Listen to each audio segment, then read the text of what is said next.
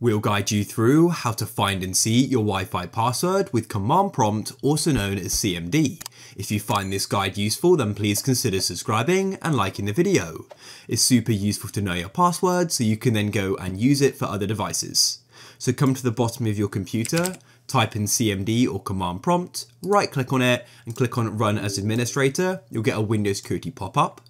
Now you need to go and start by typing in net sh like so and then you need to type in WLAN space show space profile. Press enter. You'll then see the different profiles and these are essentially networks you've gone and joined.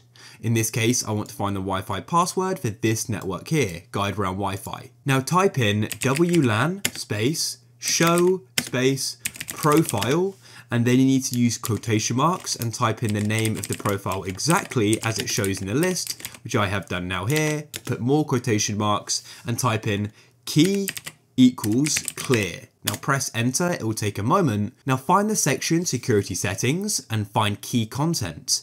And that is your Wi-Fi password just there. And you can then go and use it on other devices or whatever you want.